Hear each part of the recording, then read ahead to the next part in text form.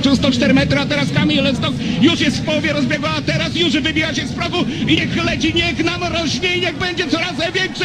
I to jest skok kapitalny, to jest skok najdłuższy w tej pierwszej serii, to jest skok w niekorzystnych warunkach, bo przecież wiatr wiał z tyłu 19 punktów, Austriak od razu pokazał tę notę, Włoch 19 punktów, Norweg 18,5 punktów, 105,5 metra, Kamil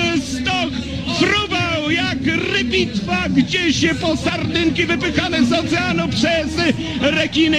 Kapitalnie 105,5 metra. Świetny skok, no i to będzie oczywiście prowadzenie. Jeszcze dwie noty, o których nie mówiłem.